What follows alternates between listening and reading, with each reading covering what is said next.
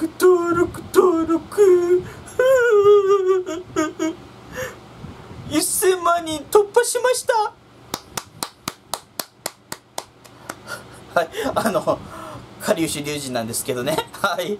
あのヒカキンさんがですね1000万人突破したみたいなんですね。登録者数ねチャンネル登録者数。1000万人。今日の昼間の1時ぐらいですかね。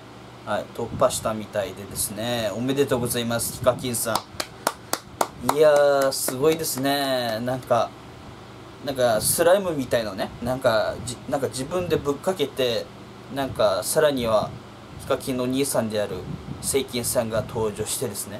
ぶっかけられたりですね。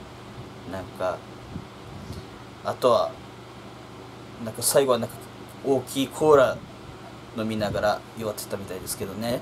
はい。それで終わり終わってたみたいですけどね。はい。いやー。なんかあの本当あれ本当に泣いてたんですかね？あの声出して泣いてたの。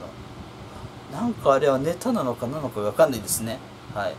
まあそれなんかヒカキンの1000万人突破でなんか批判が殺到されてるんですけどなんで批判殺到されてるのかがまずわからないですね。はい。まあ多分アンチが違反してるんですかね。はい。まあてなわけで今回の話はヒカキンさんが1000万人突破したことについてのお話でした。ご視聴ありがとうございました。では失礼します。